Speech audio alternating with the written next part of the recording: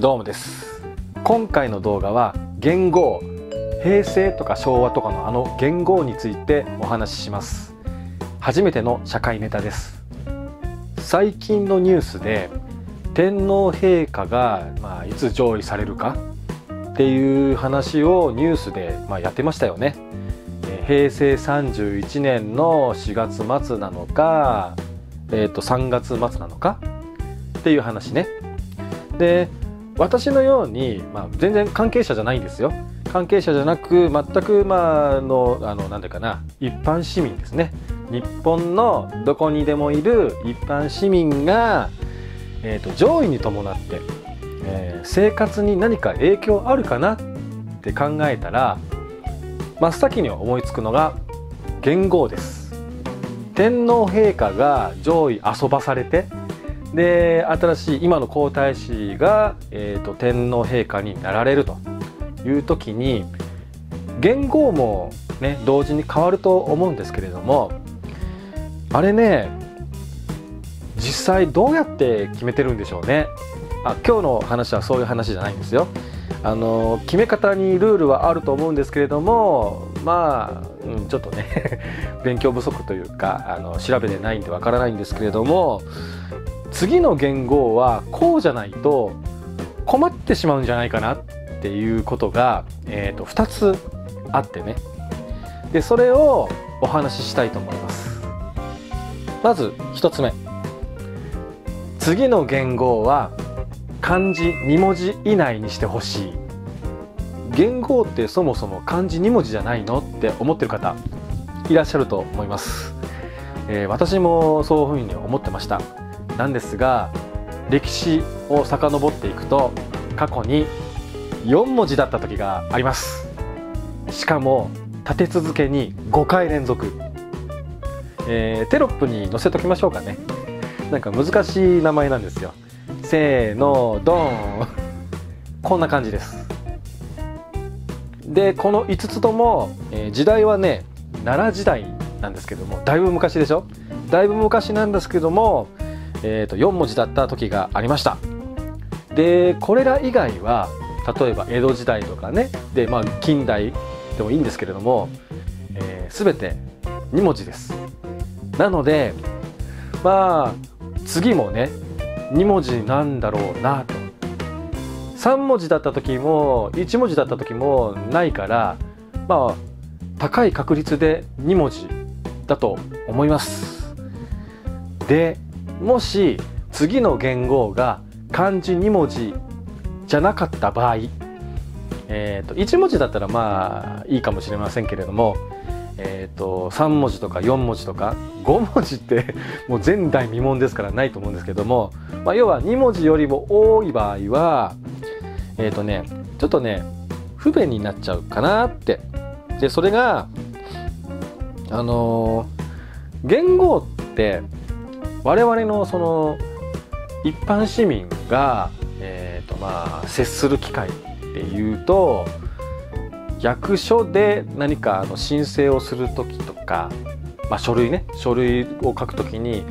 日付を書くとかあとはそうですね、えーと、民間だと,、えーと保険会社かな。あの契約期間とかそ,、ね、その契約者の生年月日とか平成、えーと、今日だったら29年の11月の26日で書きますよね。でその時に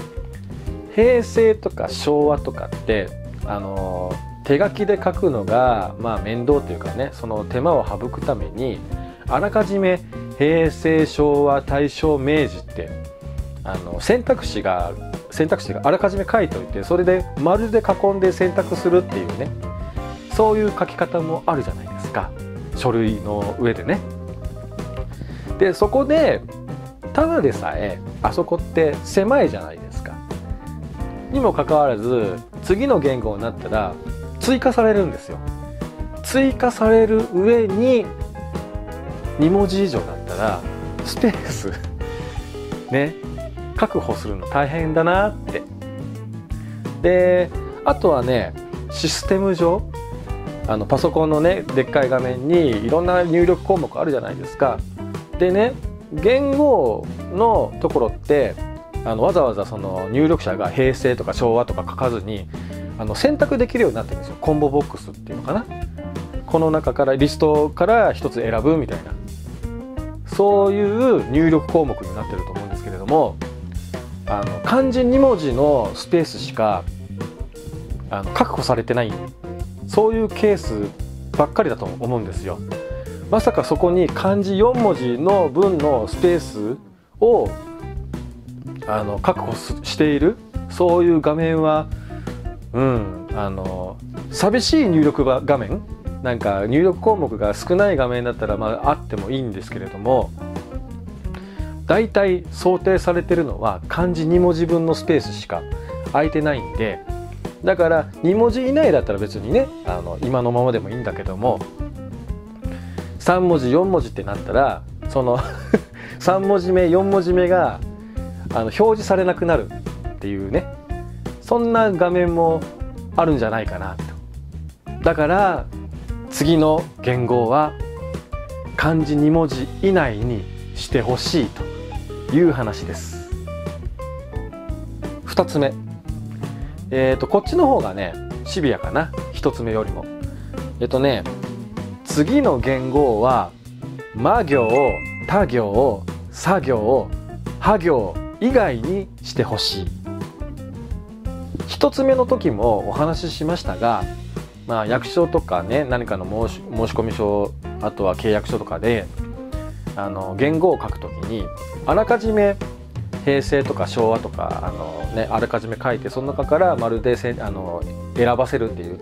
そういうのもあると思うんですけれども、えーと、その漢字でさええーと、スペースが足りない時ってアルファベット1文字で表してる時ってありませんか？見たことありませんか？だから、えー、平成だったら H 昭和だったら S で大正だったら T で明治だったら M ね。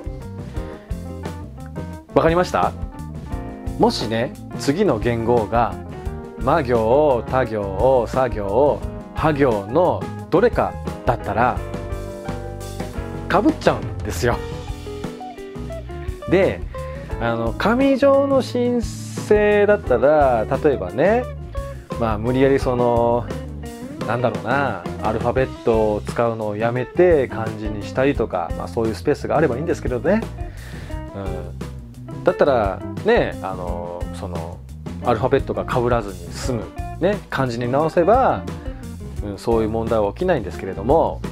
またまたね役所で使っているシステムとか民間で使っている、まあ、割りを採用している、えーとシステムとかねそういったところにねまたちょっと困ったことが起きちゃうんですよ。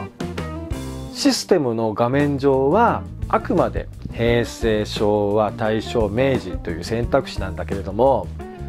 内部で保持しているなんだろうなあのプログラムのその処理の分岐に使う判断の文字っていうのは漢字じゃなくてアルファベットの場合があるんですよ。だから H だったり S だったり T だ T だったりで、えー、と M だったり。するとねあのかぶっちゃった場合って正しい分岐がなされないんで処理も間違った処理をしてしまう可能性が出てくるじゃないですか。要はバグですよね。なので次の言語は、えー、魔行他行作業破行以外の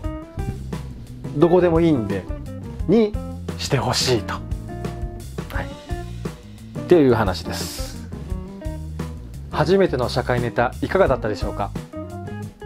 まあ昔に比べてねあの割り切を使う機会っていうのは、まあ、私の感覚ですけれども減ったように思ってます。だから今は、まあ、ほとんどが西暦でねだから2017年で、まあ、各書いて申請するとかねあの入力するとかね。そういうケースが多くなったと思いますがまだねあの和暦を使っている言語を含めた和暦を使っているところもあるのでもしねこの今回話した2つのどれかに当てはまってしまったら困ってしまう業界が少なからず存在するということを、まあ、今回お話ししました。言語って大切な意味とか、えー、思いとかが込められてて大変ありがたいものなんですけれども世の中には何だろうなそういう思いとかに比べたらまあ大したことない話なのかもしれませんけれどもこうなっちゃうと困るんだよなってねそういう人が少なからずいます。言語が変わるのはあと1年半弱先の話ですけれども皆さん頭の片隅に覚えておいてください。ということで今回は以上です。バイバイ。